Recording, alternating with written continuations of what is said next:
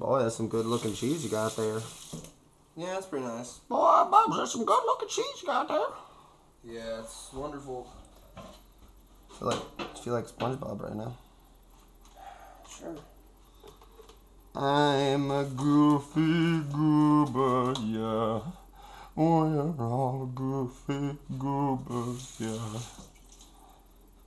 Oh, it's a goofy goober universe. No. You know, sometimes you're the goober and sometimes you're the goofy. Sometimes you get a little spoofy, sometimes you get a little. Sometimes, yeah. Yeah!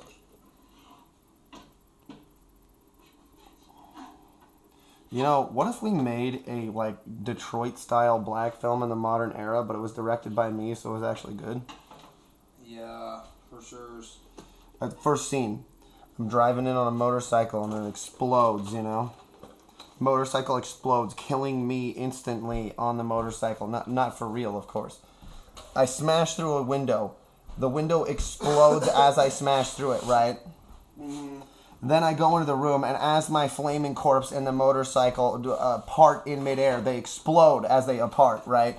Breaking my body in half into a smoldering explosion, right? It hits the ground, and wherever it hits, it also explodes, completely obliterating it into ash that explodes everywhere.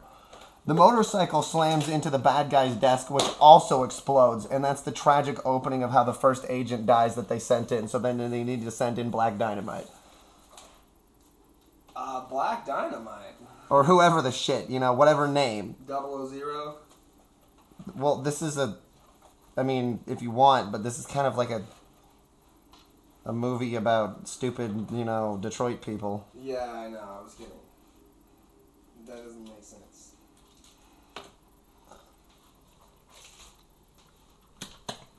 You know, sometimes I consider myself a genius. Other times I consider myself a connoisseur of the fine arts. And, you know, rarely do the two mix. And the reason why Huh. is because, uh, you know, Have you seen his YouTube channel? yeah. That's why. No, you see, I'm a genius here because.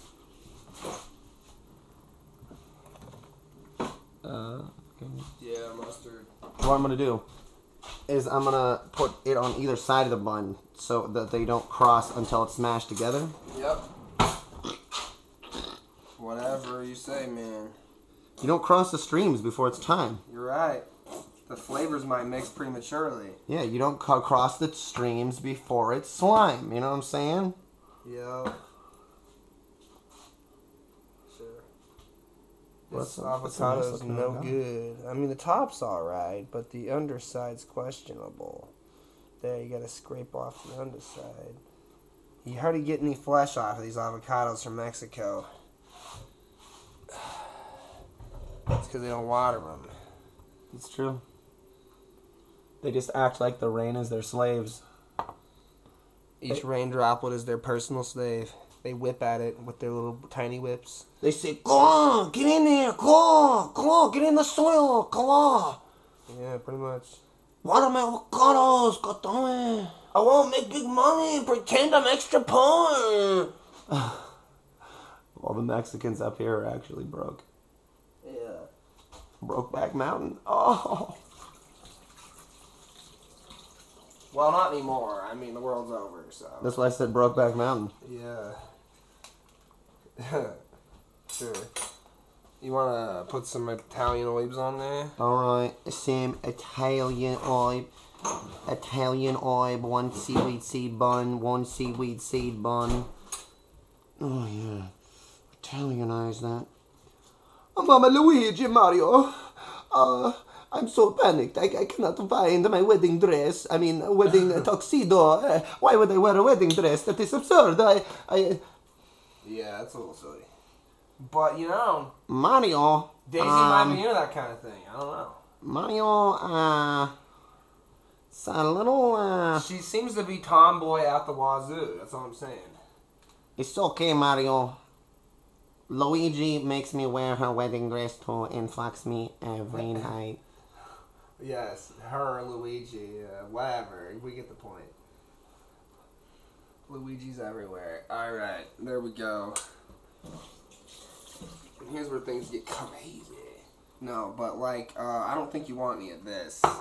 Nah, it's too much garlic.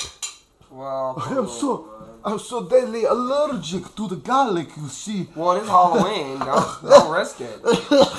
Don't risk your little vampire eye teeth. I am so deadly allergic. Oh, man, bad, man. Are those mushrooms? I just want to put it on one because it is kind of garlicky. All right. Look at that cheese glistening. Look at that cheese. Oh my god. It glistens. Look at it. Oh my god. Wow, wow, wow. Jesus, this knife is coming at my neck. Oops. Yeah, I don't really It's like not very sharp, but yeah. It's fun getting poked with a mushroom knife, you know? Mmm, slicey boys. Well, it's too big, so I'll cut it in half. Oh, yeah. There we go. Yeah, look at that. Yeah. Ooh. So nice. Next slice for the destiny of all mankind. Oh, yes. Slicey boys. Cut the ends off. They're flaking anyways. Oh, yeah. I think it's really working out. Yeah. You know, I think this relationship is really working out, you know. I'm a knife, you're a cheese. We really work and slide together well. Yep. Until I cut the cheese. It creates a breeze. Ooh, it's a thick slice. Who cares? Delicious. There we go. Half moon slice. Or Three quarter moon. That's uh pretty smush scrumptious. Alright, um oh, pickles. So many ingredients. Oh no, pickle. Mm-hmm. Gonna clean my knife. Oh, you want any mushrooms? They're just the regular variety. I mean, I don't know. It's like, you want a little mushy? sure, give me the moosh. The mushy rooms. Give me the mushrooms, moosh, mushrooms, go. moosh, moosh, moosh. Alright. So this. So you're slicing it all like that. That's pretty nice. Yeah, it is pretty nice. Yeah. It sure is. I like it thin sliced. I love karate. I love kicking bubble gum.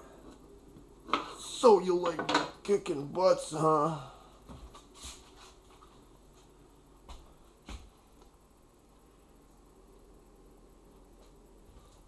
Okay. Do we have any chicken though? Yeah, we do. Let me show you what I'm gonna do with the chicken. You're not gonna believe your little eyeballs. Okay. There we go. All right. Is that all the ingredients? Oh me oh my! We gotta throw on our lettuce. Uh, slap them right on there. Jumbo style.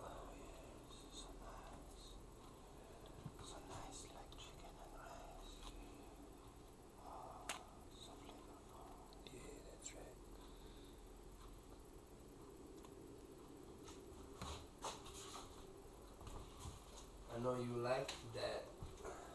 Everybody come on now. Put those lettuce leaves on those sandwiches now.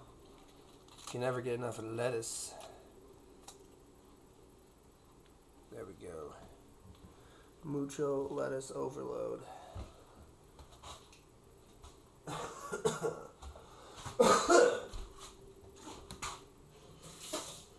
Alright, that cheese is strong.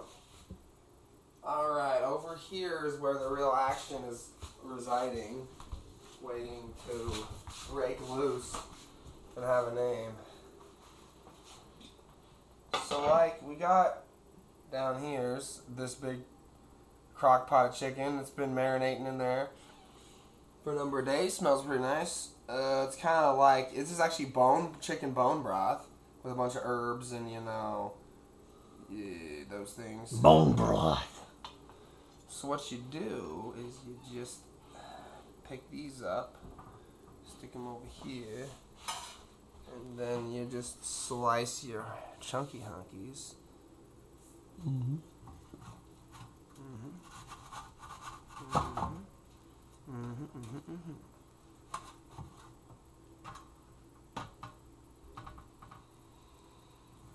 Oh, so dreamy. Such a man. Mr. J cutting his chicken. Yeah. Totally. Kind of smells like dog food. I like it. It does kind of smell like dog food. It's because they give dogs a lot of herbs secretly. Yeah. Keep them healthy. So they can be man's best friend. Man, you know, I prefer werewolf. Werewolf's man's best friend. Yeah, you can sound kind of erotic to me. I what do you mean? Uh, um, I'm totally, totally heterosexual about this. I'm only into female werewolves. Yes. Alright. I'm just gonna heat them right up in the oil molder Mm. and folder and holy soon. Mother and folder into the pan they go, into the pan and out of the fryer. They must fight the evil zombie Nazi dogs.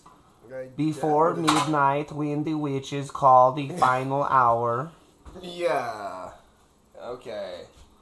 Resident Evil 8. Uh huh. That's about how stupid they're getting. Yeah. All Resident Evils are now just Halloween spectacles. Remember that. My plot's much better. We start on a train headed out to Oregon during the Victorian era. Yes. Uh, Just yes. you wake up it's you know all the lights are out uh, there's nobody on the train suddenly and zombies are smashing through uh, no explanation because it's fucking resident evil Well, here's what and it it's is. in first person and they're trying to eat your flesh because they don't want What? your, your magical train to complete you're, the you're railroad going drive past an area where there's a uh, one of those concerts where there's all the hippie people with the armpit hair and they all turn into zombies. Then they're jumping off the pine trees above the train and like swinging down on top of the train. And you got to beat them off all the way to the oregon coast on the pine trees and stuff because they keep coming in All those crazy hippie zombies, you know. yeah those goddamn hippie zombies again It's just like before, worse than we thought. But better too. i wonder how close i can get to this without burning the audience's face off slash mine I don't know. Pretty exciting.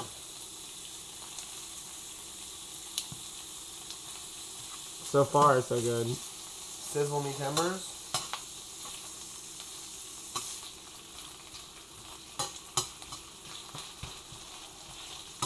Yep, pretty sizzly.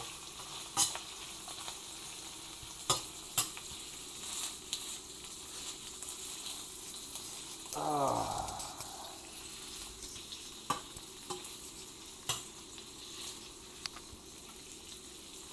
Flip them again when they're browned. Brown them a little more on the other side.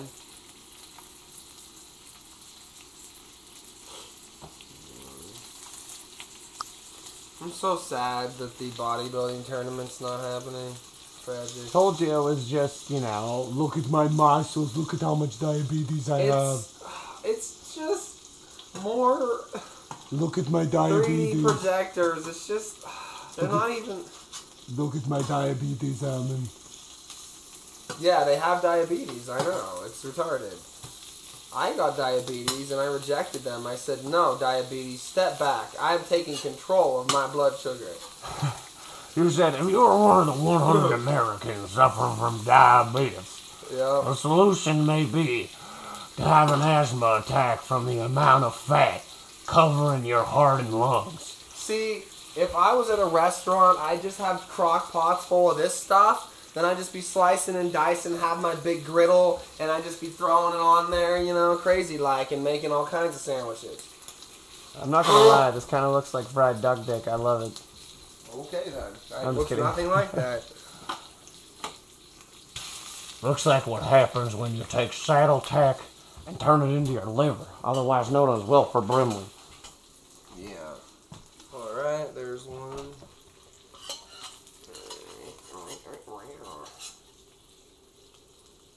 Oh, Oh, little feisty one. it's a fisty boy.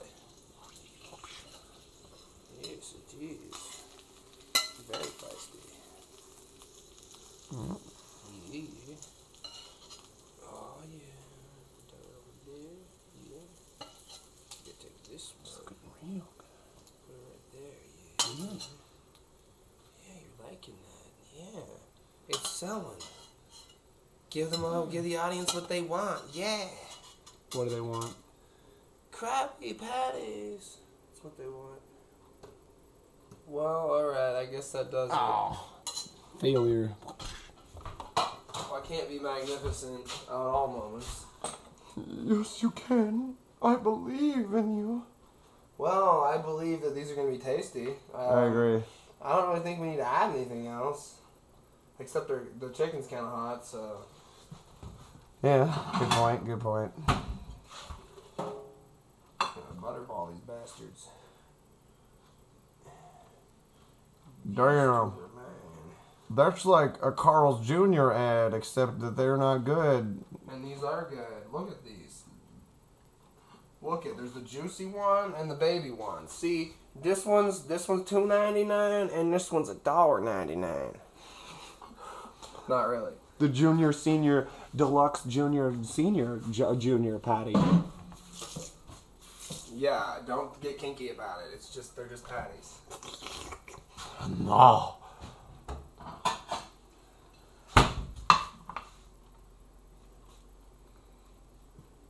What is he trying to do here? Oh man, he pressed them together.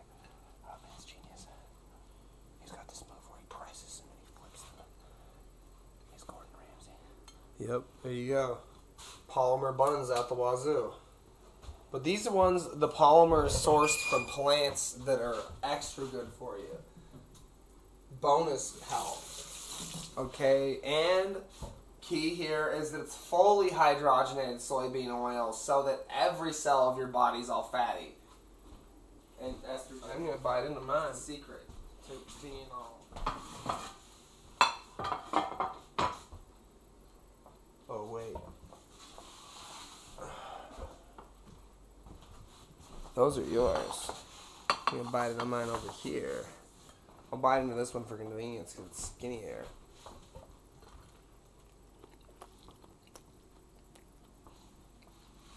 Oh, oh, my heart. It's too delicious. Angels are weeping down from my brain into my ventricles. Oh. Is that good? Try it.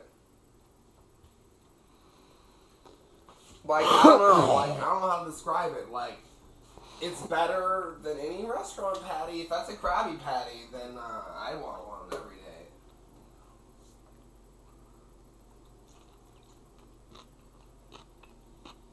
It's quite good. It's so good. Off the charts.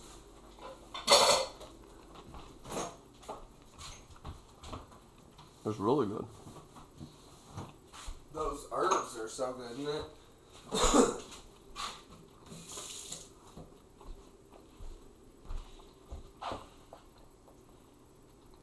also, it's pretty friendly for, you know, soft palates. It's all pretty juicy, sweet.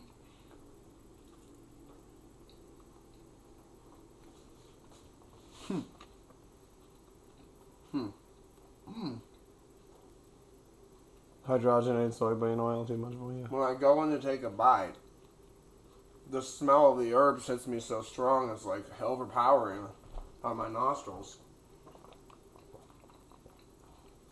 Wow, it's good.